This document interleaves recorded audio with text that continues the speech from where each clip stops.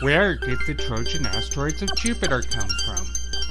So we don't know exactly uh, where they formed. We know that these objects formed early uh, in the solar system.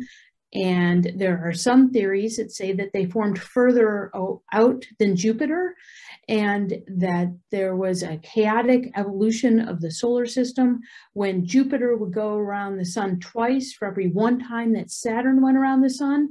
And that resonance caused a big catastrophic destruct, uh, catastrophic kind of chaotic event in the solar system's history where some of the small bodies from the solar system were ejected to, out of our solar system.